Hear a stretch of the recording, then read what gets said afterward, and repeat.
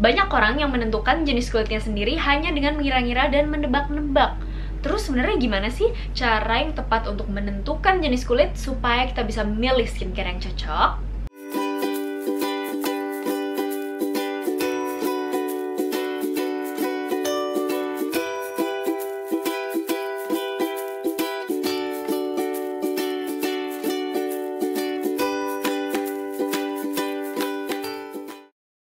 Welcome to my channel Karen Hayes. Kali ini aku akan membuat video yang back to our favorite topic which is skincare. Dari awal buat kalian yang mengikuti channel aku Aku udah banyak bahas skincare ya Skincare untuk remaja, skincare untuk usia 20, 30, 40 Skincare berdasarkan usia, whitening skincare. Tapi yang belum aku bahas adalah sebetulnya Gimana sih cara menentukan jenis kulit kita Supaya kita bisa milih skincare yang cocok. Karena banyak nih yang hari ini kering. Eh besok-besok beberapa hari kemudian jerawatan malah. Atau nggak pas udah sembuh jerawatnya malah jadi berminyak. Tuh Pasti ada kan dari kalian yang berubah-ubah nih jenis kulitnya. Coba deh sekarang aku pengen kalian jawab masing-masing apa sih jenis kulit kalian menurut kalian? Banyak dari kita yang menebak-nebak jenis kulit berdasarkan ciri-ciri umumnya aja. So, di sini yang pengen aku bilang adalah kita semua butuh satu indikator atau parameter yang pasti yang bisa digunakan secara universal oleh setiap orang. Yang nggak cuma bikin kita hanya menebak-nebak, tapi harus ada skor. Itu namanya indikator objektif. So, aku jadi penasaran. Lalu, aku mulai mencari tahu dan aku mendapatkan info bahwa ternyata menurut Leslie Bowman MD, seorang American dermatologist, CEO dari Bowman Cosmetics and Research Institute, beliau menemukan suatu tools atau sarana yang membagi jenis kulit ke dalam 16 tipe dan menentukan kita masuk ke kategori yang mana itu nggak ngasal loh. Leslie Bowman menciptakan yang namanya BSTI atau Bowman Skin Type Indicator. Modelnya adalah kuesioner di mana setiap jawabannya itu ada skornya masing-masing. Nah, nanti setelah kita jawab akan dijumlahkan terus kita dapat skornya. Nah, baru ketahuan nih masuk yang mana. Nih aku kasih tunjuk ya 16 jenis kulit menurut Leslie Bowman MD, seorang pakar kosmetik dermatologi dari US. Oh ya, aku pengen menambahkan bahwa klasifikasi atau pembagian jenis kulit itu sebetulnya nggak cuman Bowman Skin Type Indicator ini. Kalau kalian pernah dengar, ada juga Fitzpatrick Skin Type atau Fitzpatrick Scale. Ini lebih ke klasifikasi jenis kulit menurut respon terhadap sinar UV atau phototyping. Jadi cenderung ke pembagian menurut warna kulit. Nah, sedangkan Leslie Bowman mengklasifikasikan tipe kulit menurut respon terhadap cosmeceuticals, kosmetik. Intinya untuk membantu mengetahui skincare apa yang cocok buat kita. Nah, tadi udah aku tunjukin Bowman Skin Type, sekarang aku tunjukin Fitzpatrick Scale.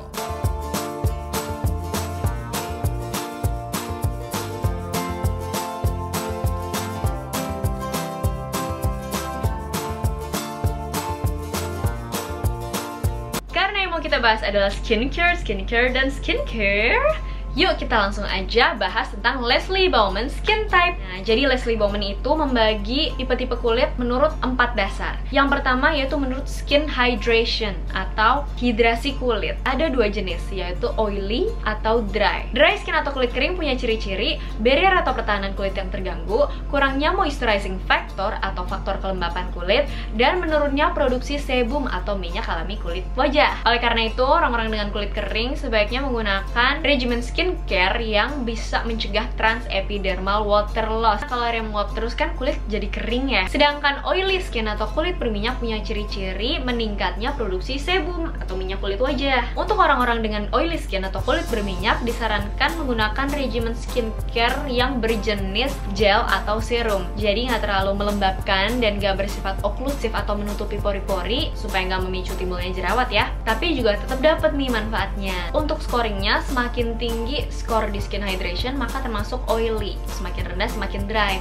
Nah untuk orang-orang yang ada di antara oily dan dry inilah yang kita sebut dengan tipe kulit normal. Jadi komposisi minyak wajahnya tuh nggak kurang tapi juga nggak berlebihan. Variasi lain yaitu jenis kulit kombinasi biasanya sih oily di daerah T-zone daerah T sini dan cenderung kering di daerah yang lain seperti daerah pipi. Lalu parameter kedua yaitu skin sensitivity atau sensitivitas kulit. Dibagi menjadi dua yaitu jenis kulit sensitif dan kulit resisten. Semakin tinggi skornya semakin sensitif dan semakin rendah maka resisten. Kulit sensitif adalah kulit yang gampang mengalami inflamasi. Menurut Bauman, jenis-jenis inflamasi yang disebabkan oleh kulit sensitif ini ada empat macam, yaitu acne type atau berjerawat, stinging type atau rasanya seperti tersengat, tercep-tercep itu loh kalau pakai produk nggak cocok terus kayak uh, rosacea type dan allergic type atau gampang alergi. Anyway, kulit sensitif ini punya kelebihan yaitu bahan-bahan aktif yang ada di dalam skincare regimen, di dalam krim atau lotion itu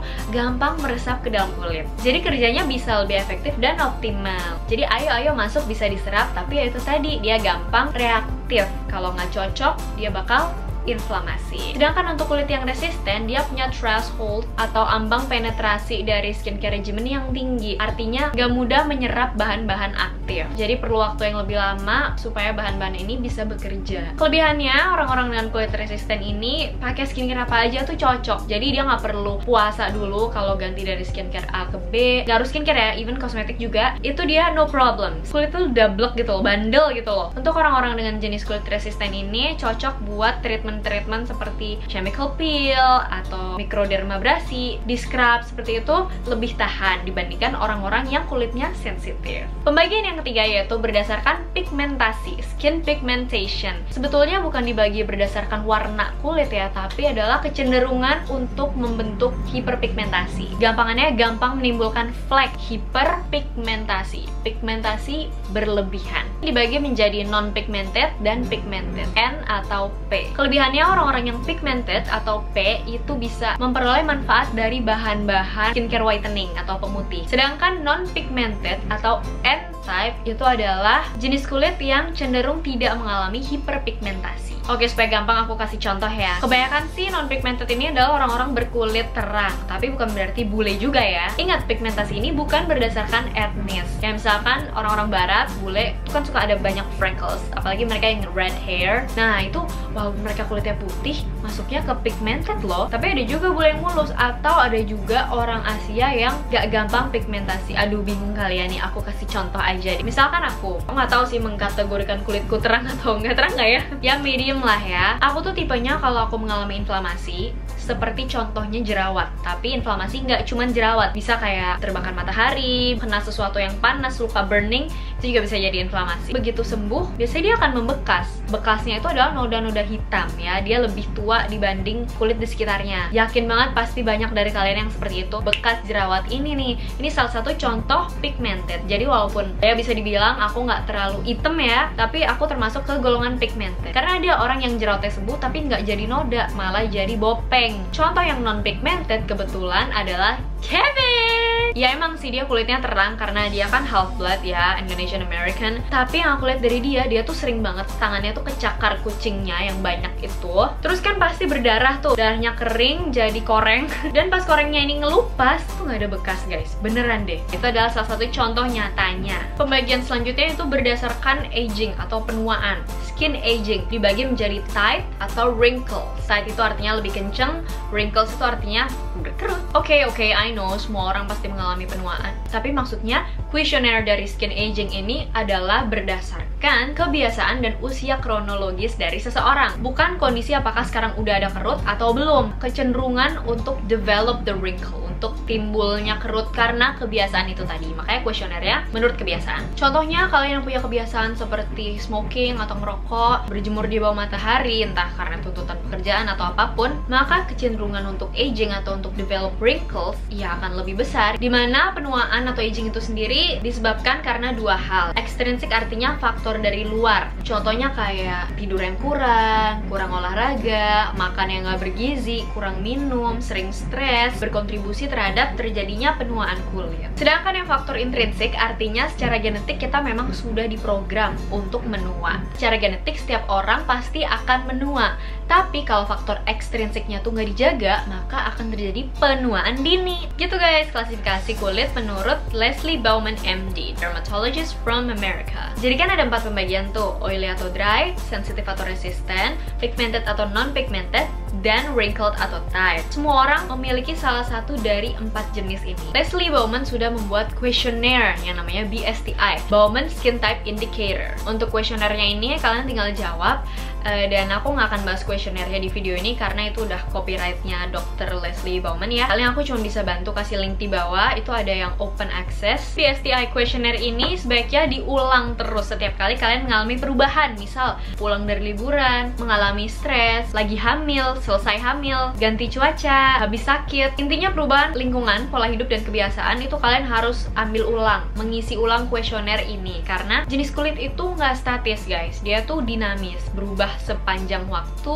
tergantung dari lingkungan. Terus sekarang pertanyaannya, kalau emang ada 16 jenis kulit, kenapa cuma 4 jenis skincare yang biasanya dijual di pasaran? Normal, berminyak dan berjerawat, kering, dan sensitif. Karena mereka mengelompokkan skincare menurut permasalahan yang dominan pada satu orang. Ya kali ya, nggak mungkin dong satu perusahaan bikin 16 jenis skincare untuk masing-masing tipe gitu ya. Pusing ya. Misalkan aku ambil quiz dan aku termasuk dry, sensitive, pigmented type. Berarti aku DSPT. Tapi dalam satu waktu, contohnya saat ini, akan ada satu jenis permasalahan yang dominan, yaitu kering. Berarti untuk saat ini aku harus mencari skincare untuk kulit kering. Jadi yang aku pengen tekankan di sini adalah video ini bukan ada untuk menjudge kenapa cuman ada 4 jenis skincare yang dijual di pasaran, tapi justru untuk membantu kalian mengetahui permasalahan utama kulit kalian sekarang supaya kalian bisa milih mana dari jenis 4 regimen skincare itu yang kalian perlu saat ini. Makanya kalau kalian lihat di video skincare terakhir aku yaitu whitening skincare,